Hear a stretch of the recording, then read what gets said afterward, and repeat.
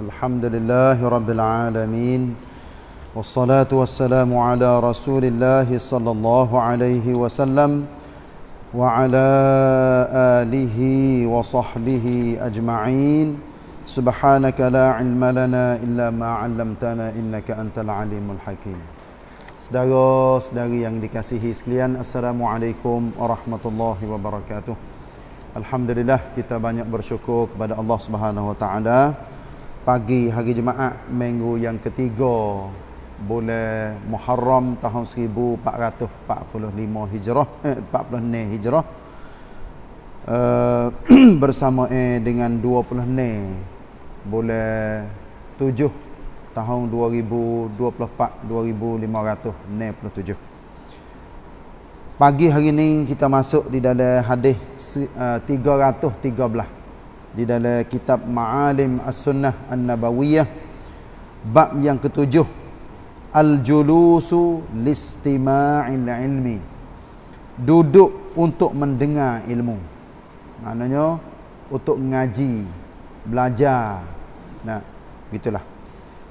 An Abi Waqid Al-Laythi رضي الله عنه أن رسول الله صلى الله عليه وسلم بينما هو جالس في المسجد والناس معه إذ أقبل ثلاثة نفر فأقبل اثنان إلى رسول الله صلى الله عليه وسلم وذهب واحد. قال فوقف على رسول الله صلى الله عليه وسلم. فأما أحدهما فرأى فرجة في الحلقة فجلس فيها. وأما الآخر فجلس خلفهم. وأما الثالث فأدبر ذاهبا. فلما فرغ رسول الله صلى الله عليه وسلم قال ألا أخبركم عن النفر الثلاثة؟ أما أحدهم فآوى إلى الله فأوى إلى الله فآواه الله.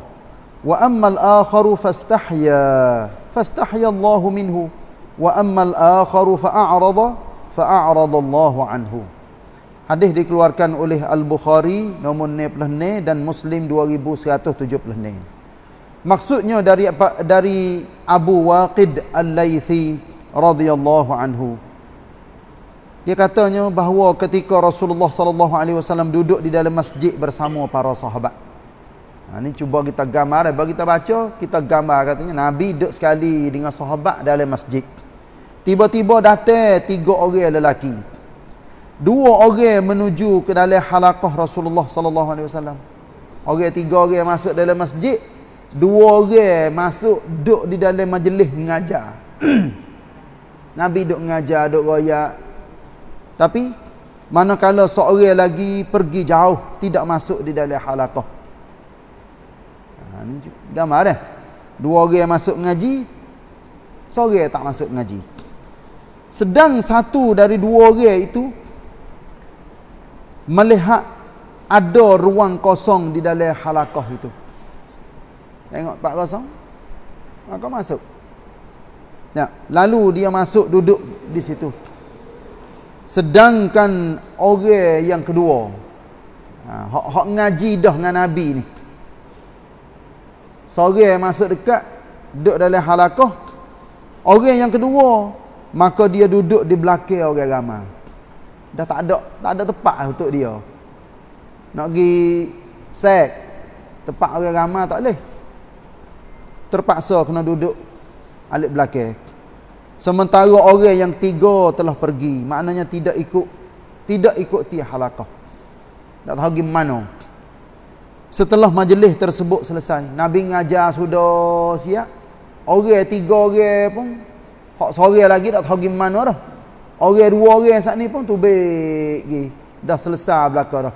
Ada setengah-setengah sahabat duduk dalam masjid lagi. Nabi pun royak. Ha, sebab orang tahu belaka ni. Katanya tiga orang ni bukan orang hak duduk dalam Madinah dah orang luar yang mari dengan Nabi duk mengajar bobe bobe bobe bobe. Ha tu sore tu tak tahu gimana dah. Tinggal tinggal dua orang. Bos sudah selesai siap. Maka baginda Rasulullah sallallahu alaihi wasallam bersabda, "Mahukah kamu aku beritahu tentang tiga orang tadi?" Nabi bukan mengupak dak ni. Nabi royak pereha untuk nak jadi boleh pengajaran kepada kita. Seorang di antara mereka meminta perlindungan dari Allah, maka Allah pun melindunginya. Maknanya tiga orang ada, buai dah seorang, ada dua. Orang yang pertama minta perlindungan supaya dengan dia ia mari wing won minta dengan Allah Taala nak wi rahmat turun kepada dia. Maka Allah Taala beri kepada dia. Sebab dia duduk dalam ngaji. Orang yang duduk dalam ngaji ni malaikat berdoa rahmat. Doa baik. Barakah. Apatah lagi majlis ngajar hak Nabi sendiri ngajar sallallahu alaihi wasallam adalah seberkat-berkat ilmu yang orang terima daripada mulut Nabi. Ha tu gitu. Lepas tu orang yang tak masuk ngaji sekali dengan Nabi, tengok apa? Oh, Nabi duk ngajar belah, tak apa. Cuba kita gambar. Belah, aku ada ada hijau, aku tak sing ngaji. Padahal ngaji tak ada tak ada duk panjang mana li ngaji dengan Nabi. Nabi bukan duk ceramah sampai 2 3 je. Sebentar Nabi ngajar. Tapi ada orang honok, ada orang tak sih. Itulah Nabi ayat katanya, seorang di antara mereka meminta perlindungan dari Allah, maka Allah pun melindunginya. Orang yang kedua merasa malu kepada Allah, maka Allah pun malu kepadanya. Sebab apa? Sebab ia duduk di belakang. Ia tak mesti mari duduk kat depan-depan, nak duduk kat belakang-belakang. Kalau kita zaman-zaman lah ni, ya, tempat-tempat ngaji tu dah. Ada tempat kosong tempat apa? Lah aku nak duduk belakang. Sebab apa? Aku nak main terosak. Nak main terosak tu. Nak telinga duduk dengar. Jadi zaman-zaman lah ni pun kalau kita tengok budak-budak sekolah lagu tu lah belakang tempat percum tempat apa dia ambil terosak orang duduk mengajar gerang gerang gerang gerang baca kitab lagi royak ayat Quran royak hadis royak apa dia duduk main terosak tu tengok Facebook tengok YouTube Walaupun dia katuk suara.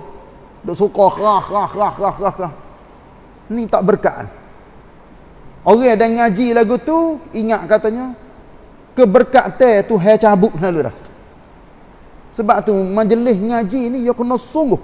Kalau dah kita pergi ngaji dengan syekh-syekh pasal luar-luar negeri, oh jangan harap katanya nak jenera ke nak galik, nak kecek dengan orang tepi pun Kadang-kadang syekh apa pasal bakar-bakar hamak ke dia. Ge ge ge ge. Minta sang ngaji.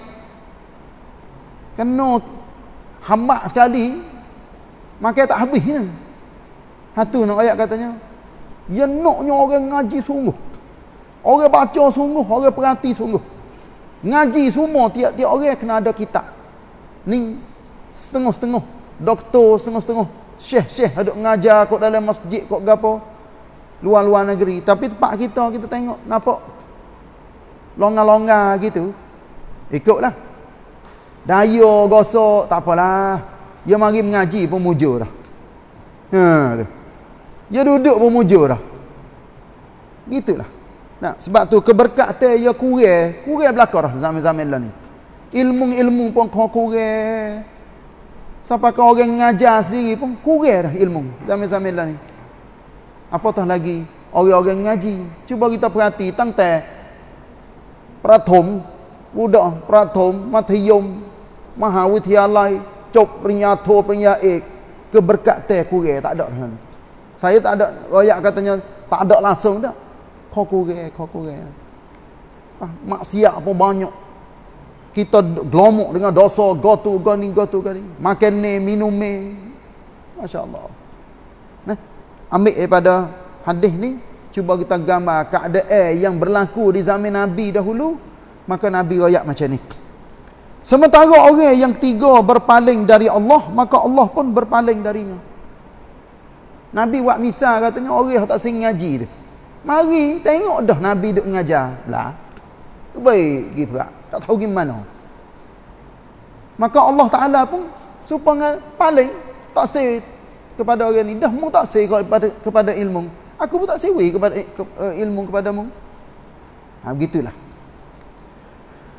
Yang kelapai, at-tathabbutu minal ilmi. Tajuknya tekun dalam menuntut ilmu. Sungguh, sungguh. Ha, tekun maknanya sungguh. Kanok dia panggil. Hadis yang ke-314. An Aisyah radhiyallahu anha زوج النبي صلى الله عليه وسلم أنها كانت لا تسمع شيئا لا تعرفه إلا راجعت فيه حتى تعرفه وأن النبي صلى الله عليه وسلم قال من حوسب عذب قالت عائشة فقلت أوليس يقول الله تعالى فسوف يحاسب حسابا يسيرا؟ قالت فقال إنما ذلك العرض ولكن من نوقش الحساب. ولكن من نوقش الحساب يهلك. Hadis ini dikeluarkan oleh Al-Bukhari 103 dan Muslim 2876.